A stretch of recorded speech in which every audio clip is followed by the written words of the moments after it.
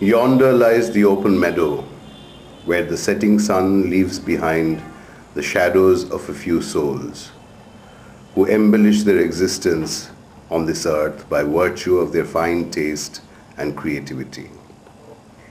These indomitable souls have been driven by their inner spirits, having braved all the odds to reach such heights. These people just dreamt, and their dreams brought them to the threshold of a new movement which is 50 years young and still going strong.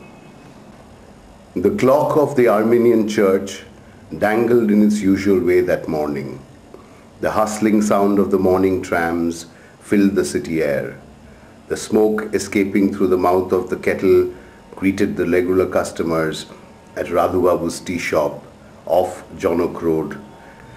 And amongst all these trivialities, the place at 7A Mysore Road was experiencing a youthful vigor.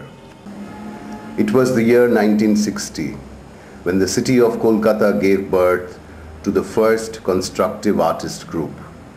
This was long awaited. The group comprised of Shanat Kaur, Shamul Rai, Nikhil Bishwas, Somnath Hore, Bijon Chaudhuri, Prakash Karmokar, Sharbari Rai Chaudhuri, Arun Basu, Shukanta Basu, Anil Baran Saha, Shoilen Mitro and others who actually belonged to two different groups called the Artist Circle and the Chitrangshu. The group was named by Shukanto Boshu as Society of Contemporary Artists. Obibhushan Malik played a pivotal role in bringing together all these people and giving the group a constructive and positive energy.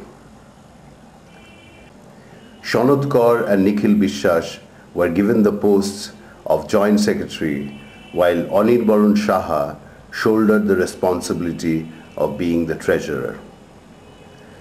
The different trends in the Indian art scenario were on the verge of stability and independence. During this time, the Calcutta Group in the east and the Bombay Progressive Group in the west had come into existence. The European influence on the Indian artists was gradually fading into oblivion with the introduction of free and independent thinking, open discussions, exchange of ideas among the artists hailing from various places of India. The members of the society were well equipped with the basics of art and art practice. This enabled them to innovate and carry their work towards distinct directions. In course of time, as their work began to get acknowledged and praised, a certain homogeneity began to develop within the group itself. The society began to operate as a collective wherein all the practitioners contributed in the initiative of new thoughts and ideas. The first exhibition was held at Artistry House Stalwarts like Shunil Dash, Shuhas Rai and Deepak Banerjee were part of this occasion. Apart from this, small-scale exhibitions of paintings took place at 7A Mysore Road. Soon, the first exhibition of prints of Somnath Hore was also held here. Thus, the young and energetic movement embarked to a height of maturity. Simultaneously, efforts were being made to earn a living out of this fortitude. Gradually, society was feeding and shouldering more artists, overruling any geographic bias. The new inclusions at this juncture comprised of Ganesh Pine, Bikash Bhattacharjee, Ajit Chakraborty, Amitabh Bandyopadhyay, Dharmanayan Dasgupta, R Paneshwar Kamala Raychaudhuri Uma Siddhanta Ganesh Halui Madhab Bhattacharya Lalu Prasad Sao Shyamashree Basu and Sushil Gupta Others like Manu Parekh, Manu Rathor, Sudhir Ranjan Bhushan, P. Chandra Binod came here in search of a living and during their sojourn, they gave into the incomprehensible spirit of creativity that existed in this group. The society nurtured them too. In the meantime, the society had acquired a new address. Ajit Chakraborty studio at 157B Lenin Sharoni became the society's new dwelling place. Ajit Chakraborty had brought some prints on his way back from Czechoslovakia. The members of the group were thrilled to see them. Incidentally, Jibon Shen also carried a printing machine all the way from Poland during this time. This gave the members of the society a chance to try their hands at printmaking. These new practices gave birth to new experiments in media. For the first time, India experienced an indigenous production of prints in such a scale, thanks to the Society's initiatives. In course of time, the exhibitions organized by the Society were also held abroad, along with national exhibitions. The recognition and praise inspired the group to deliver their best from time to time. Though many members left the group citing various excuses, the discipline remained unhindered.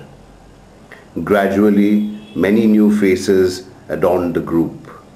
The newcomers included Shadon Chakraborty, Manoj Dotto, Manoj Mitra, Aditya Bashak, Bimal Kundu, Sunil Kumar Dash, Shapon Kumar Dash, Manik Talukdar, Niranjan Pradhan, Ashok Bhaumik, and Pradeep Moitro. Each of them had immense potential to carry forward the legacy that had once started 20 years back.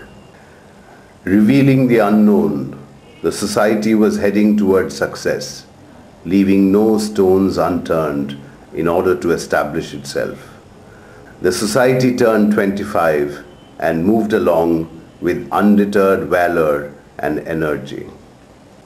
The path taken by the society, the dreams of its founders, and their proper implementation by its successors is unending and undisputed. The society now has a permanent address at the southern fringe of Kolkata near Koshba. New artists have joined in like Atin Boshak, Atanu Bhattacharya and Partho Dasgupta. The group has had its sad moments also.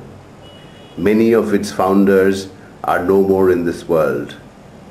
But the care with which they have matured the society and nurtured it from its beginning still keeps the flame alive.